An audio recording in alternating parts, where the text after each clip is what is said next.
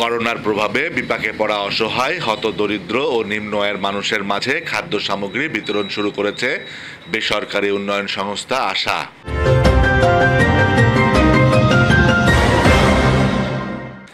জেলা প্রশাসকের হাতে সতেরোশো প্যাকেট খাবার তুলে দেন সংস্থাটির কর্মকর্তারা। পরে পুরাতন ডিসি কোর্ট চত্বরে তিনশো খাওয়াত দরিদ্র ও নিম্ন আয়ের মানুষের মাঝে খাদ্য সামগ্রী বিতরণ শুরু করা হয়। এ সময় জেলা প্রশাসক সরোজ কুমার নাথ আশার কুষ্টিয়া ডিভিশনাল ম্যানেজার উত্তম কুমার ভৌমিক সহ অন্যান্যরা উপস্থিত ছিলেন। এ সময় সামাজিক দূরত্ব বজায় রেখে আগতদের হাতে চাল ডাল আলু তেল লবণ সহ খাদ্য সামগ্রী তুলে দেওয়া হয়।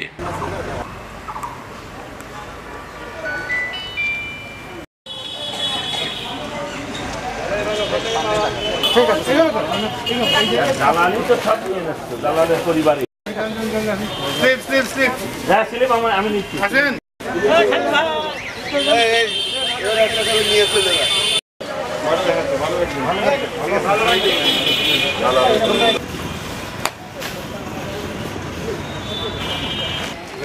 লেখা আছে। উড়ে টরে গেলে বিপদ।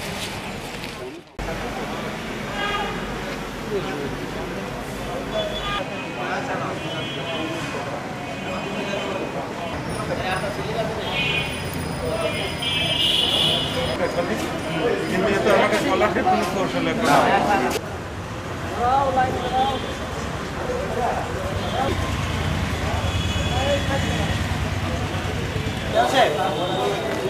পুরাতন ডিস্ট্রিক্টের মধ্যে?